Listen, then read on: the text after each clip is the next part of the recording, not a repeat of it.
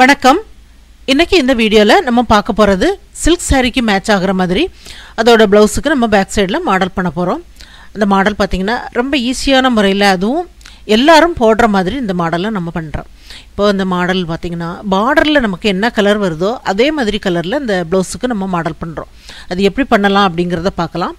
அதுக்கும் முன்னாடி இந்த சேனலை இது வரைக்கும் சப்ஸ்கிரைப் பண்ணாதவங்க சப்ஸ்கிரைப் பண்ணுங்கள் என்னோட சேனல் நேமுக்கு பக்கத்தில் இருக்கிற சப்ஸ்கிரைப் பட்டனை கிளிக் பண்ணி உடனே பக்கத்தில் வர்ற பெல் ஐக்கானையும் கிளிக் பண்ணிவிடுங்க நான் வீடியோ அப்லோட் பண்ணும்போது உங்களுக்கு ஒரு நோட்டிஃபிகேஷன் வரும். என்னோடய வீடியோக்களை நீங்கள் தவறாமல் பார்க்கலாம். இப்போ இந்த சேரீயில் டபுள் சைடு பார்டர் உள்ள சாரீ இப்போது ப்ளவுஸ் கிளாத்லேயும் அதே மாதிரி தான் டபுள் சைடில் பார்டர் இருக்குது இப்போ இந்த பார்டரில் வர்ற மாதிரி அந்த பிங்க் கலரில் கால் மீட்டர் கிளாத்தை எடுத்து வச்சுருக்கிறேன். அது எப்படி பண்ணலான்னு பார்ப்போம். இப்போ இதில் லைனிங் கிளாத்தும் மேல் பக்க கிளாத்தையும் சேர்ந்த மாதிரி கட் பண்ணி விட்டுருக்குறேன். ஃப்ரண்ட்டில் நெக்கு கட் பண்ணியிருக்கிறேன். ஸ்லீவுக்கு இந்த மாதிரி ஒரு சைடு உள்ள பார்டர் வச்சு நான் கட் பண்ணியிருக்கிறேன். இப்போ பேக் சைடில் பார்த்தீங்கன்னா அந்த மேங்கோ டிசைன் மட்டும் முதுகு பாகத்தில் வர்ற மாதிரி அந்த கீழே உள்ள பார்டரை நான் தனியாக கட் பண்ணி எடுத்துட்டேன். இப்போ இதில் ஷோல்டர் வெட்டு பாகத்தை பேக் சைடு உள்ள பீஸுக்கு இந்த மாதிரி நம்ம அடையாளப்படுத்தலாம். இப்போ இதில் ஒரு சதுரமான ஒரு பேப்பர் கேன்வாஸை நம்ம ரெண்டாம் அடித்து வைக்கலாம். அடையாளப்படுத்தி விட்டுருக்க பகுதியிலேருந்து எப்போதும் காலஞ்சு தள்ளி தான் பேப்பர் கேன்வாஸு நாம் அளவெடுக்கணும். அந்த பகுதியில் நம்ம அடையாளப்படுத்தினதுக்கப்புறம் நெக்கு உங்களுக்கு எவ்வளோ தேவையோ நீங்கள் அதை பண்ணுங்கள் இது நம்ம பேப்பர் கேன்வாஸ்லேயே நம்ம அளவெடுக்கலாம். இதில் நான் ஒன்பது இன்ச் அளவுக்கு அடையாளப்படுத்துகிறேன் இப்போ மேலே என்ன அளவு இருக்கோ அதே அளவை கீழேயும் நீங்கள் அடையாளப்படுத்திடுங்க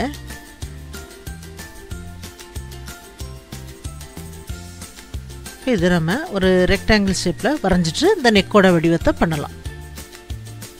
இப்போ இந்த கார்னரில் இருந்து ஒன்றரை இன்ச் அளவுக்கு அடையாளப்படுத்தலாம். வெளிப்பக்கம் ஒரு அரை இன்ச் தள்ளி இந்த மாதிரி அடையாளப்படுத்திட்டு மேலேருந்து இந்த லைனை இந்த மாதிரி போட்டு விடலாம். இப்போ சைடில் நம்ம வரைஞ்சி விட்ருக்க லைனில் வந்து இந்த மாதிரி கொஞ்சம் வளைவாக இந்த மாதிரி வரைஞ்சி விடுறேன். இதை அப்படியே நம்ம கட் பண்ணி எடுத்துடலாம். வெளிப்பக்கம் ஒரு இன்ச் அளவுக்கு பேப்பர் கேன்வாஸ் இருக்கிற மாதிரி கட் பண்ணி எடுத்துருங்க. பேக் சைடு உள்ள லைனிங் கிளாத்தை இந்த மாதிரி ரெண்டாம் அடித்து சென்டரில் இந்த மாதிரி அடையாளப்படுத்தி விட்டுறலாம். இப்போ அந்த லைன் தெரியுது. இப்போ உள்பக்கம் எடுத்த இந்த பேப்பர் கேன்வாஸை வச்சுட்டு சைடில் நாம் அந்த பீஸை வச்சோன்னா அந்த கழுத்து பகுதி உங்களுக்கு அளவு மாறாமல் வரும். உள்பக்கம் வச்சுட்டு சைடில் வச்சதுக்கப்புறம் உள்ளுக்குள்ளே பீஸை நீங்கள் எடுத்துடலாம். இப்போ இதில் நம்ம அயன் பண்ணி விட்டுறலாம்.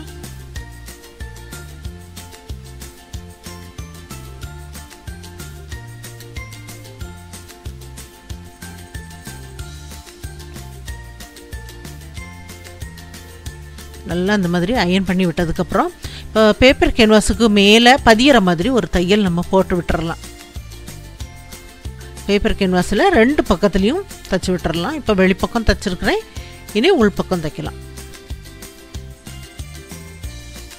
தைச்சதுக்கப்புறம் மேல் பக்க கிளாத்துக்கு மேலே இதை வச்சு நம்ம கழுத்து பகுதியில் ஜாயிண்ட் ஆக்கலாம். இப்போ மேல் பக்க கிளாத்துக்கு மேலே வச்சுருக்கிறேன். வச்சுட்டு இப்போது இதில் சென்டரில் நம்ம ஒரு தையல் இந்த மாதிரி போட்டு விட்டுறலாம். இந்த மாதிரி நம்ம தைச்சிட்டு சைடில் தைக்கும்போது உங்களுக்கு அந்த கிளாத்து விலகி போகாமல் இருக்கும். இப்போ பேப்பர் கேன்வாஸில் தையல் படாத அளவுக்கு உள்பக்கமாக தைச்சி விடுறேன். இந்த கழுத்தோட வளைவுக்கு ஏற்ற மாதிரி அப்படியே நம்ம தைச்சி விட்டுறலாம். தைச்சதுக்கப்புறம் உள்பக்கம் கால் இன்ச்சு கிளாத்தை விட்டு நம்ம கட் பண்ணுறோம் சோடர் பகுதியில் நம்ம கால் இன்ச்சு விட்டு பேப்பர் கேன்வாஸை கட் பண்ணோம் பார்த்தீங்களா அந்த அளவு இப்போது கிளாத்தில் வருது. அப்போது உங்களுக்கு அந்த சோல்டர் பகுதி சரியான அளவுக்கு வருது. இந்த கார்னரில் எல்லாமே கட் பண்ணி எடுத்ததுக்கப்புறம் இந்த கிளாத்தை நம்ம அப்படியே நம்ம திருப்பி எடுத்துடலாம். உள்ளுக்கு வந்து உங்களுக்கு பேப்பர் கேன்வாஸ் இருக்கும்போது இது நல்லா திரும்பி கொடுக்கும். தையல் பேப்பர் கேன்வாஸில் படாத அளவுக்கு தைக்கும்போது தான் இந்த மாதிரி உங்களுக்கு திரும்பி கொடுக்கும். நல்லா திருப்பி எடுத்ததுக்கப்புறம் கழுத்துக்கு எட்ஜில் ஒரு தையல் இந்த மாதிரி போட்டு விட்டுறலாம்.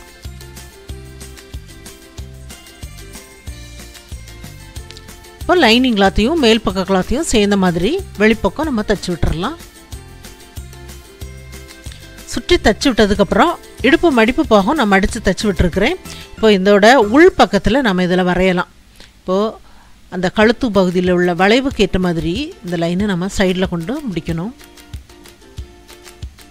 இந்த பகுதியில் கொண்டு முடிச்சிருக்கிறேன். இப்போ இது எவ்வளோ இருக்குது அப்படிங்க பார்க்கலாம். ஒரு இன்ச்சு கொஞ்சம் அதிகமாக இருக்குது அதே அளவை இந்த சைட்லேயும் நம்ம அடையாளப்படுத்திட்டு அந்த கழுத்தோட வளைவுக்கு ஏற்ற மாதிரி இந்த சைட்லேயும் நம்ம வரைஞ்சி விட்டுடலாம் அப்போ உங்களுக்கு ரெண்டு பக்கமும் ஒரே மாதிரி அந்த அளவில் இந்த லைன் வருது. இப்போ இந்த சைடில் மேலே அந்த ஷோல்டர் பகுதியிலேருந்து கொஞ்சம் அந்த கிராஸில் நம்ம லைன் போடுறோம். கொஞ்சம் இடைவெளி விட்டு இந்த மாதிரி எல்லா பக்கமும் இந்த லைன் போட்டு விட்டுறலாம்.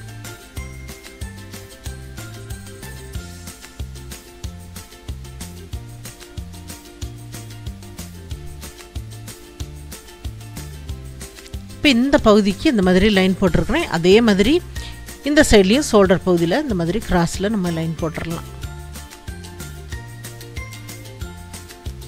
இப்போ ரெண்டு சைட்லேயும் இந்த மாதிரி நம்ம கிராஸில் லைன் போட்டிருக்கிறோம்.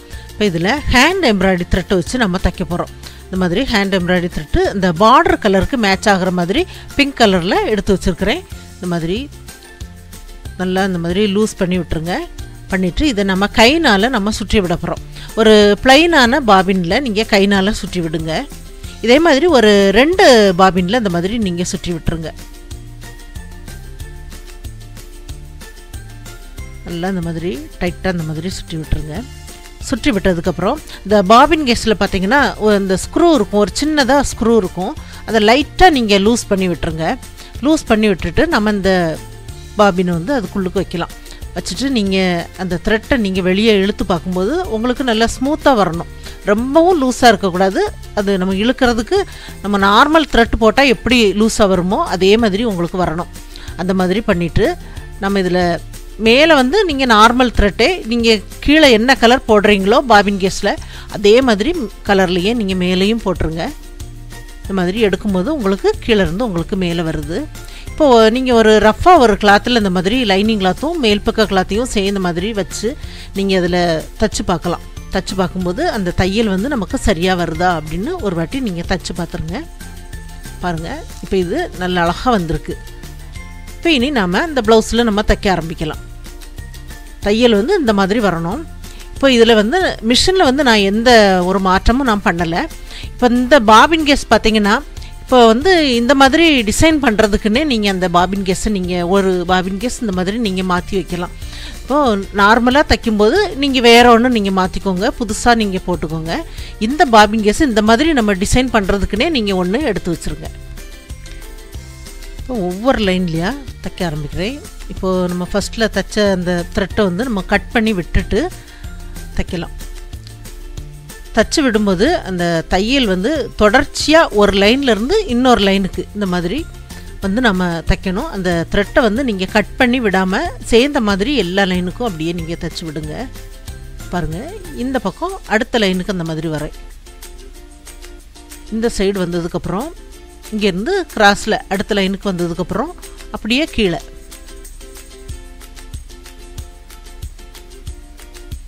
நம்ம அதில் லைன் போட்டுட்டு தைக்கும்போது உங்களுக்கு இது ஈஸியாக தான் இருக்கும்.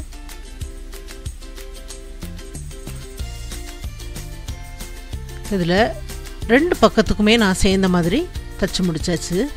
இப்போ பார்க்கலாம். பாருங்கள் இப்போ இதில் அந்த பார்டருக்கு மேட்ச் ஆகிற மாதிரி த்ரெட்டில் நம்ம மேலே இந்த லைன் போட்டிருக்கிறோம். இப்போ இதில் ஃப்ரண்ட்டில் உள்ள பீஸும் நம்ம ஜாயிண்ட் ஆக்குனதுக்கப்புறம் நெக்குக்கு நம்ம பண்ணலாம். இப்போ இது கிராஸ் பீஸ் நாலு பீஸ் இந்த மாதிரி எடுத்து வச்சுருக்கிறேன். இப்போ இதை ரெண்டாக மடித்து நம்ம இதில் கம்பி போட்டு பைப்பிங் பண்ணுறதுக்காக இப்போது தையலுக்கு வெளிப்பக்கம் இருக்கிற கிளாத்து வந்து எக்ஸ்ட்ரா கிளாத் எல்லாமே நம்ம கட் பண்ணி கொஞ்சம் எடுத்துடலாம். எடுத்ததுக்கப்புறம் இந்த மாதிரி கொஞ்சம் லூஸ் பண்ணி விட்டுட்டு இந்த பகுதியில் இந்த கம்பி வச்சு இந்த மாதிரி நல்லா உள்ள தள்ளி விடுங்க. இப்போது கொஞ்சம் நீளமான இந்த மாதிரி பைப்பிங் நம்ம பண்ணும்போது இந்த மாதிரி உங்களுக்கு நெருக்கமாக இருக்கும். நீங்கள் இந்த மாதிரி பிடிச்சி இழுத்துட்டீங்க அப்படின்னா உங்களுக்கு நல்லா வந்துடும் நல்லா பைப்பிங் திருப்பி எடுத்ததுக்கப்புறம் கை வச்சு நல்லா தேய்ச்சி விட்டுருங்க. உங்களுக்கு அது நல்லா ஸ்மூத் ஆயிரும். இதில் நம்ம பண்ணலாம். இப்போ ஃப்ரண்ட்டில் நான் எல்லாமே சோல்டர் பகுதி எல்லாமே ரெண்டு பகுதியிலையும் இந்த மாதிரி கவர் பண்ண மாதிரி ஜாயிண்ட் ஆக்கியிருக்கிறேன். இப்போது இந்த கழுத்து பகுதியில் அந்த ஓப்பன் பகுதியிலேருந்து நம்ம அந்த பீஸ் வச்சு ஜாயிண்ட் ஆக்கலாம். ஃபஸ்ட்டில் நான் பிங்க்கு வைக்கிறேன். அப்படியே நம்ம பேக் சைடுக்கும் சேர்ந்த மாதிரி இந்த பக்கம் வந்ததுக்கப்புறம் அப்படியே நம்ம கொஞ்சம் அந்த டிசைன் பண்ணியிருக்கிறதையும் விட கொஞ்சம் கீழே இறக்கி இந்த மாதிரி கட் பண்ணி எடுத்துருக்குறேன். இப்போ இதில் ரெண்டாவதாக ஒரு தையல் போட்டாச்சு. இப்போ இதுக்கு அடுத்ததாக இந்த கோல்டு கலர் பைப்பிங் வச்சு நம்ம ஜாயின் ஆக்கலாம்.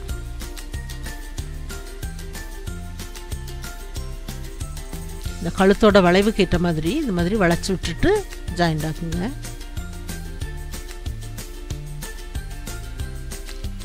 இதுலேயும் நம்ம ரெண்டு தையல் போட்டு ரெண்டு சைட்லேயும் முடிச்சிருக்கிறேன். அதே மாதிரி சைடில் அந்த டிசைன் முடிஞ்சிருக்கு பாருங்கள் அந்த பகுதியில் ஃபஸ்ட்டில் நான் இதில் கோல்டு கலர் வைக்கிறேன்.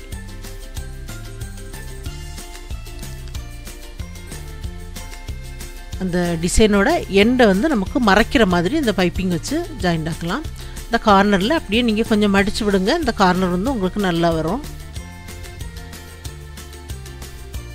இப்போ இதுலேயும் ரெண்டு தையல் போட்டு அடுத்ததாக நம்ம பிங்க் கலர் வச்சு ஜாயிண்ட் ஆக்கலாம். இது எல்லாமே ஜாயிண்ட் ஆக்குனதுக்கப்புறம் இதில் ஸ்டோன் செயின் வச்சு ஒட்டி விட்டுருக்குறேன். இது வந்து ஃபேப்ரிக் க்ளூ வச்சு நல்லா ஒட்டி விடுங்க.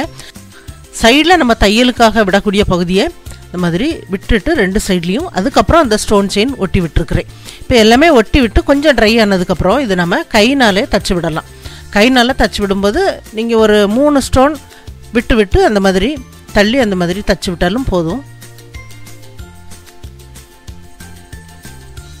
இப்போ ஒரு சைடில் இருந்து எடுத்து இந்த மாதிரி கைனால் இந்த த்ரெட்டை ஒரு சைடில் இந்த மாதிரி பிடிச்சிட்டு நீங்கள் தைச்சிங்க அப்படின்னா உங்களுக்கு சிக்கு விழாமலும் ஈஸியாக உங்களால் பண்ண முடியும்.